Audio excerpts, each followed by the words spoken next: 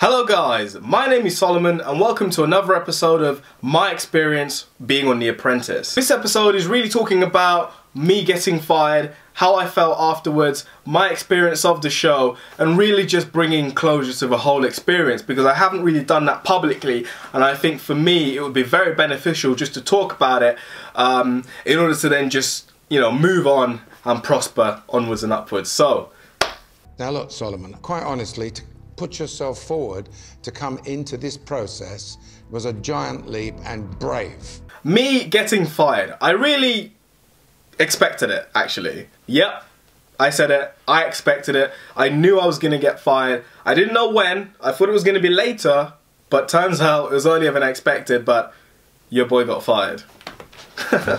the first thing I experienced when Lord Sugar, you know, gave me the finger, not that kind of finger, You're fired.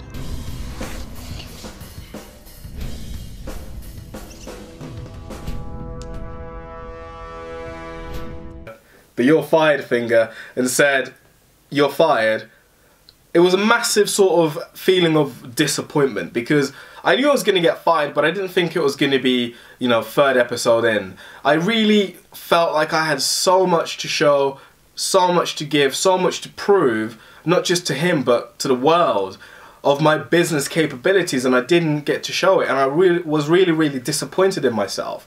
You know I thought why didn't I you know what those thoughts you know what those thoughts like why didn't I try harder? Why didn't I speak up?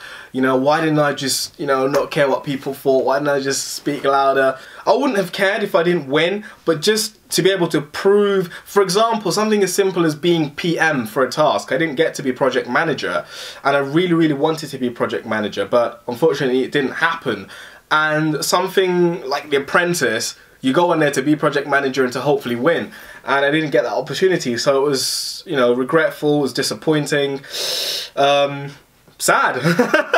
you know, initially, very, very sad um, initially. So after feeling let down and disappointed, uh, at myself or you know not getting as far as I wanted in the show it kind of transpired into an emotion of relief you know overwhelming relief and for those of you that just watch The Apprentice on TV, it is the most stressful experience you'll ever go through in your life. Period. I mean, literally, from the moment you submit that application form to try and get onto the show, to the moment, you know, Lord Sugar says you're fired, and afterwards, you know, press, the show airing, the aftermath of all that, it is the most stressful, busy, overwhelming, tiring, grueling, pressuring, all those kind of words out there um, that you would use for difficult. It is that. And I will tell you from being someone who's a world-class athlete, uh, training and performing at such a high level, You're a sportsman, right? The Apprentice is harder than my sport. Like I said, from the moment you submit that application form to try and get on the show, moving up the levels, getting accepted, uh, moving forward, getting to the final, being told you're on the show, packing, getting ready, telling your family you're disappearing and you can't tell them where. Um, my mom thought I was... Some people thought I was going on Love Island, I don't know why they thought that. Your whole life coming to a stop, being in a confined environment with strangers that are all trying to rip your head off, each task being very, very difficult and, you know, being under scrutiny and pressure and every day feeling like you're going to get kicked off and getting a grueling from Lord Sugar and taking shots from different camera angles while shooting, as well as trying to sell products, as well as doing retakes, as well as waking up at 3, 4, 5 a.m. in the morning, going bed at 10 p.m., not having the meals that you as I was saying, testing, testing, one, two, three. Being in the boardroom and knowing you're gonna get fired but hoping you don't get fired and you do get fired and you have to go home and you cry and, and you have to pick up from where you left off and explain to your work why you haven't been turning up for the last month and coming back online on social media and everyone asking where have you been and then the show being announced and all the press and interviews and scrutiny and social media both positive and negative Positivity is a very, very strong point. tidal wave of attention and then moving on from it, it is a lot of stress. So yeah, back to that point, relief. Ah, whew, that was a roller coaster, you know? yes, I'm disappointed that I got fired and I didn't get the investment, but damn, that was a that was a journey. My whole life stopped. Whew. You know what I mean? Like relief. Like I can finally breathe.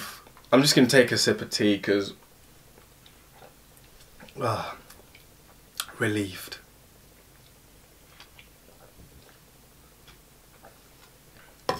But at the end of it, really, like once it finishes and you look back on it, I feel really, really grateful for participating in it because it's another milestone in my life. I can add to that, you know, collage of things I've done in my life, and I feel grateful for the people I've met.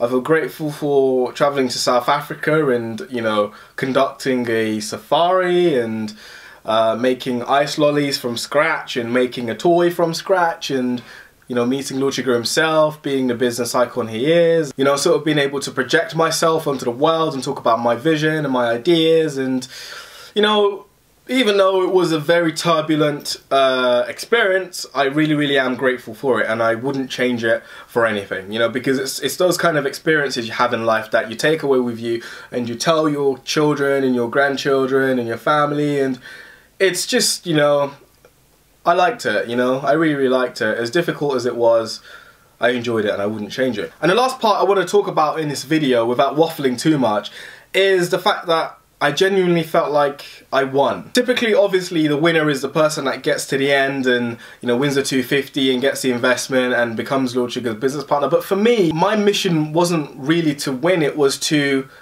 back to that topic I was talking about in the first video, displaying and beginning a conversation of disabilities in not only just the workplace but in business and enterprise. In the world of disability sport it's very incredible. You know there are platforms and avenues and the consciousness is there to be able to talk about it. Everybody participates and has fun and it's amazing. Whereas in business, I didn't see that as much when I started to be more and more involved in that category of life. And so for me to be able to um, participate in that, to be able to, to make history by being the first ever candidate on The Apprentice since Donald Trump started it in whenever, you know, to it coming to the UK and being in its 15th series, to being the first disabled person on it like it's you know that's history making that's groundbreaking and it started a lot of conversations that I can you know now sort of push forward and hopefully open more doors for other people that have a disability and want to pursue something in business. That was my sort of goal and ambition uh, throughout the journey of trying to get into the apprentice. So like I said even though I didn't uh, realistically win, figuratively for myself, I did win in one way or another. Thank you so much for watching this video. If you really, really enjoyed it, please don't forget to like and subscribe. And I hope you look forward to the next video in the series of my experience on The Apprentice. Have a good one.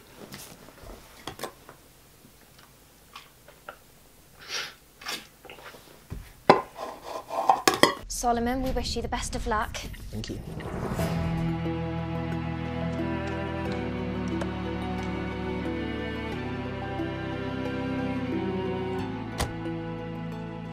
Next time Lord Sugar sees me, I will be a champion in athletics with a gold medal and I will also be a champion in business with a big fat check.